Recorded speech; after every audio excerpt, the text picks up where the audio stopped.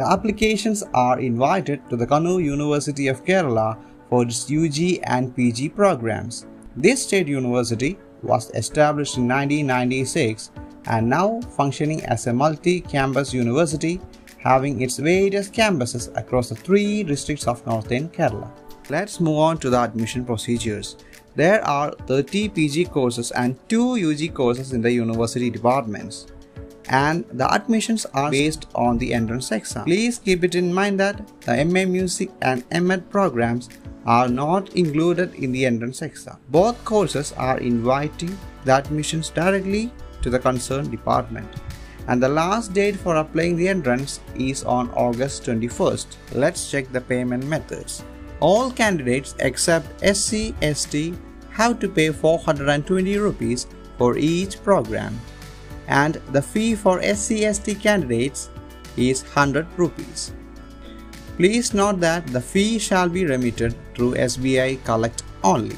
While dealing with the reservation policy, 50% of the total seats belong to open quota, 20% for SEBC categories, 10% for EWS category, and the remaining 20% seats reserved for SC ST candidates.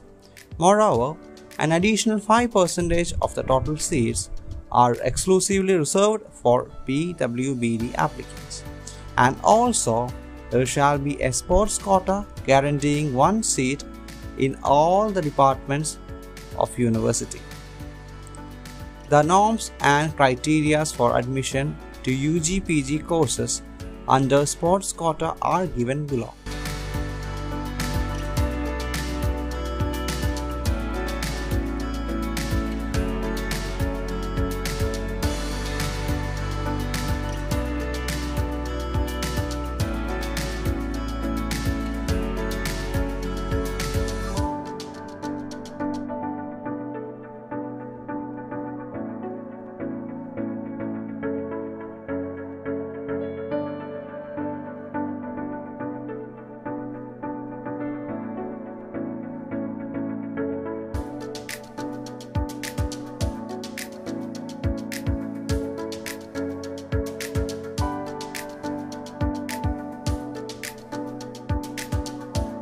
The available courses in the respective campus centers are listed below.